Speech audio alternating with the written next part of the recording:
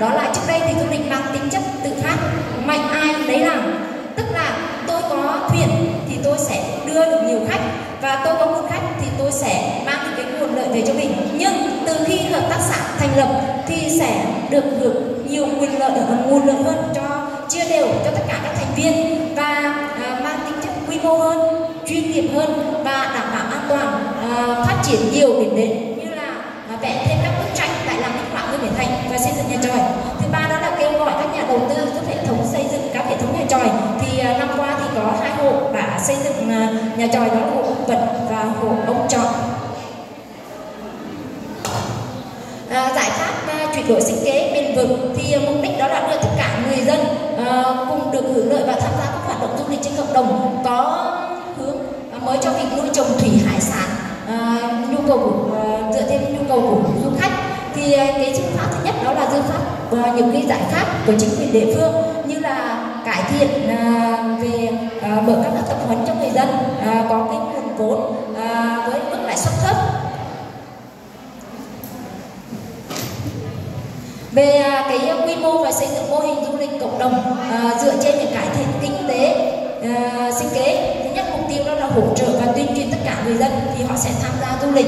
Về à, vai trò và trách nhiệm của các bên liên quan về các cấp các huyện à, cấp xã à, hợp tác xã thì là những cái thành viên tham mưu cho người dân à, để có thể là hoạt động du lịch à, tốt hơn. Về à, các doanh nghiệp thì khi mở các doanh nghiệp ở đây thì à, nên à, có hướng đó là tạo công an việc làm cho người dân và mang về lại cái nguồn vốn cho hợp tác xã để có thể là các thành viên cùng hưởng lợi. Và người dân là một trong những cái vai trò nòng cốt ở đây đó là khi khách đến về à, khi khách đến thương mà về khách nhớ thì đây là một trong những cái à, mà cái mong muốn mà khi du khách đến với tham quan tại du lịch đầm phá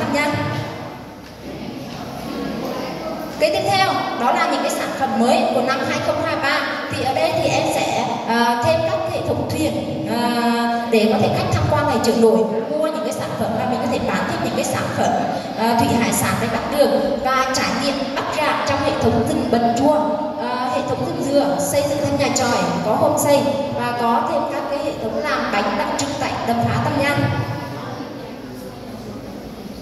về mô hình của năm 2023 thì cái mô hình này thì chắc chắn là sẽ được thực hiện vào năm 2023 nhưng mà à, phải dựa trên cái nguồn kinh phí và hỗ trợ của các cấp à, thì xây dựng mô hình dự kiến đó là tiếp tục xây dựng trên các mô hình cũ và nuôi thêm các rọ cá để khách trải nghiệm câu cá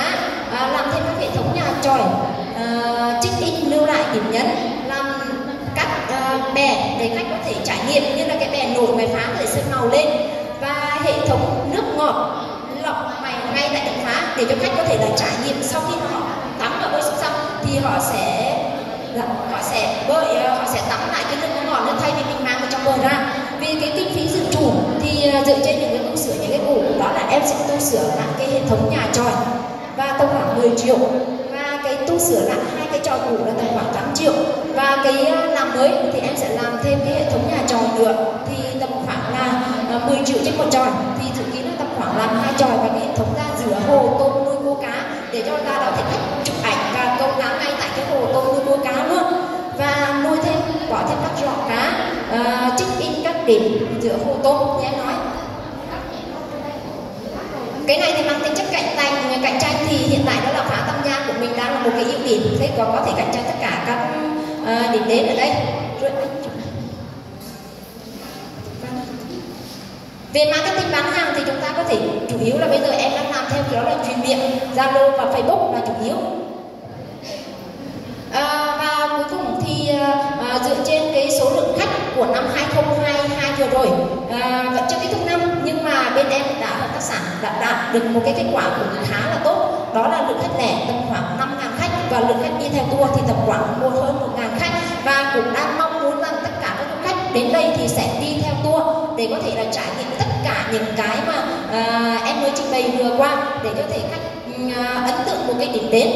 Và hiện nay thì du lịch đang phát triển là nguồn thủy hải sản ở đầm phá tam giang nó cũng mang đến những cái mặt tiêu cực và tích cực về các mặt xã hội môi trường sinh thái và con người. Tuy nhiên ờ, sẽ có sự can thiệp đồng hành tham mưu của các cơ quan chính quyền các cấp cao hợp tác xã để mang lại nguồn lợi cho người dân. Thì à, hy vọng rằng các nhà đầu tư uh, thông qua cái bài à, đề tài này thì sẽ có một cái uh, nguồn hỗ trợ kinh phí để cho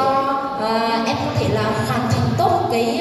uh, đề tài này. Và mong muốn rằng sẽ có một cái điểm đến mới cho du khách khi đến với lại tỉnh Thừa Thiên Huế. Và uh, em xin uh, chúc tất cả các thủ thi và tất cả các chị Ờ, có một cái uh, buổi thật là uh, hoàn thành tốt và ý nghĩa nhất. Rồi cũng em xin cảm ơn ạ.